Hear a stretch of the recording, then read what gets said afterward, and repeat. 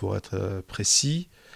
Euh, c'était en 2010 où j'ai commencé. C'est l'épreuve Moundir. Moi, je suis trop contente parce que Moundir, je l'adore. C'est mon chouchou. Donc les ch'tis versus Marseillais contre les Marseillais.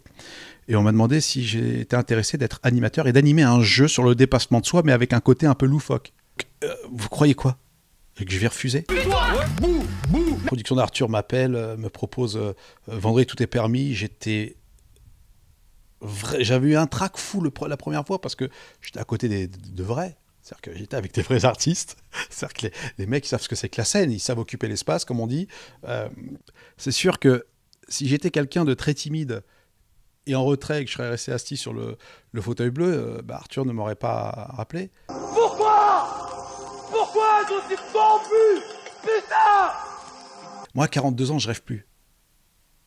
Voilà, c'est-à-dire qu'il y, y a des choses, je, je sais que euh, ça ne se fera jamais, pour, euh, euh, et, que, et que, ou alors faut vraiment tomber sur la personne qui, qui, qui vraiment te, te fait confiance et, et, et veut de toi dans un projet comme une fiction, comme dans le cinéma. Salut à tous, à tous les lecteurs de Télé Loisirs et bienvenue à Dublin au Winamax Poker Open. Alors c'est l'un des plus grands tournois amateurs et croyez-moi, c'est juste exceptionnel. Alors il y a des amateurs, des pros, des joueurs, des... Enfin bref, suivez-moi, suivez-moi. Ça va, vous, Alain Bozig, un ami de chez les Whip, voilà.